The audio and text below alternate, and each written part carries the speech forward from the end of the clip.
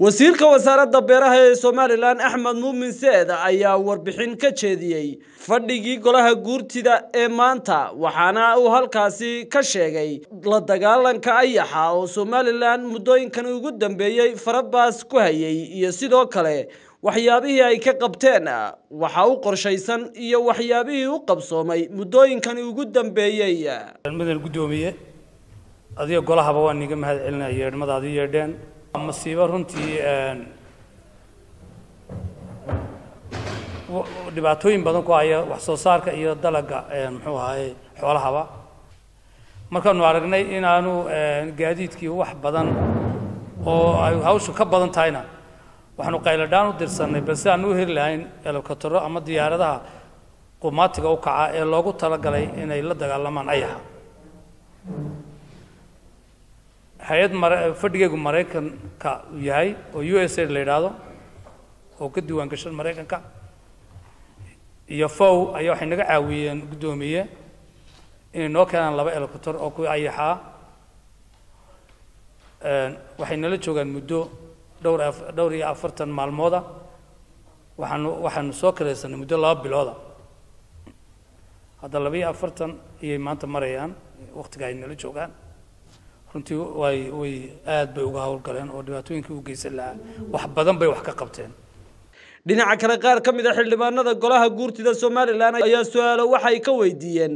Waxyaabo kala duwan oo ay ka mid yihiin miisaaniyadda lacagta waddanka ingiriisku uu ku caawinayo somalilan gaar ahaan dhinaca la dagaalanka ayaxa iyo sidoo kale waxyaabaha taageerada ah ee ay u baahan yihiin. Waxaana su'aalahaasi. Wasiir waxaad noo sheegteen inaad si aad iyo aad uga dadaasheen in aad maxaanku idhahdaa la dagaalantaan ayaxa. Hase yeeshee waxaad mooddaa in gobolladan galbeedka oo keliya arrintiinnu ay ku salaysan tahay. Gobollada bariga iyo deegaamadaasna dhibaatooyin ayuxu uu ku hayo oo ka badan tan oo kaleeto ayaa jirta. Maxaad ugu tala gasheen maxaase idinka qorshaysan arrimaha gobollada bariga markaa runtii waan ka hawlgalnay gobolka sool oo ayaxu markuu ku habsaday sanaagna waanu ka hawlgalnay iyo saraar intaba waanu ka hawlgalnay sool iyo sanaag iyo saraar intaba waanu ka hawlgalnay marka bariya galbeed uma egna anigu waxaan u egnaa dhibaatada uu ayaxu ku hayo deegaamada somalilan oo dhan.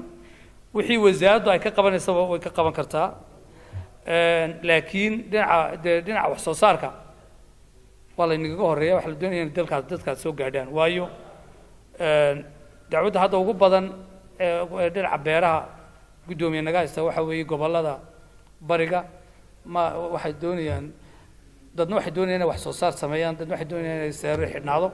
Marka anigii wasaaradda deegaankuma waan waan waan waan isku kadeedanahay. Haddii ilaahay yidhahdo bariguna waxaan u aqoonsanahay wasiir beer ahaan inuu yahay dhulkii xoolaha ee ku yar yihiin wax soo saarka ku yaryahay mar kasta meel kasta iyo wakhti kasta. Badda cas twenty four t v kala soco wararkii u dambeeyey ee soomaalida iyo caalamkaba. Isla xilliga ay dhacayaan. Badda cas twenty four t v sidoo kale waxaad nagala socon kartaan barahayga bulshada sida facebook youtube iyo sidoo kale twitter si aad u noqoto qofka ugu horreeya ee daawado muuqaaladeeda aan soo gelino fadlan subscribe saar gambalaalka riiq barteeda youtube. Sidoo kale like iyo follow ku dhufo. Barteeda aan ku leenahay bejka badda cas four t v waa weelka waxa aad tabayso